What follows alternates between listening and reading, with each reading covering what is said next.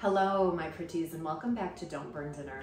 This week we are featuring a very special recipe, an applesauce with only two ingredients. There is nothing more delicious or tempting than an apple. Just ask my old friend Snow White.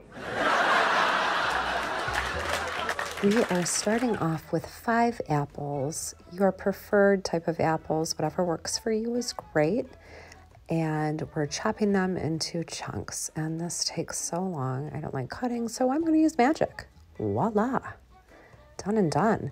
Now that we've gotten that done, we'll fill up the bottom of the stock pot with your apple chunks and a half an inch of water at the bottom. Then cover with one tablespoon of cinnamon. It's going to seem like a lot of cinnamon, but it's not. Don't worry about it a little bit more magic just to get that cauldron a boiling.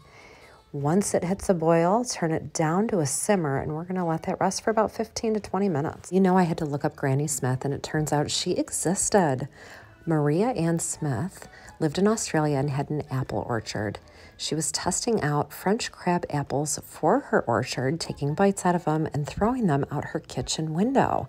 A little pile accumulated at the bottom of her windowsill, and a chance seedling sprung up, which we now know as a Granny Smith apple.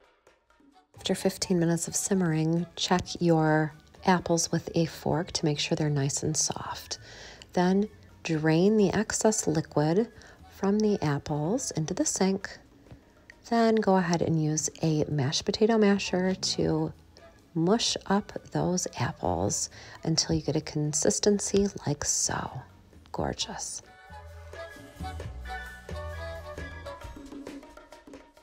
And that, my dearies, ha ha ha, is how you make two ingredient applesauce. So this you can give to the children for dessert. It makes a great midday snack.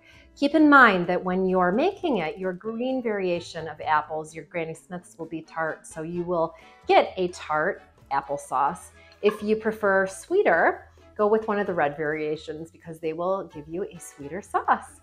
So thanks so much for joining us today and learning how to make two ingredient applesauce with us. And make sure you subscribe so you don't miss any of our future easy, delicious, and nutritious meals. Thanks so much and we'll see you next time. Bye.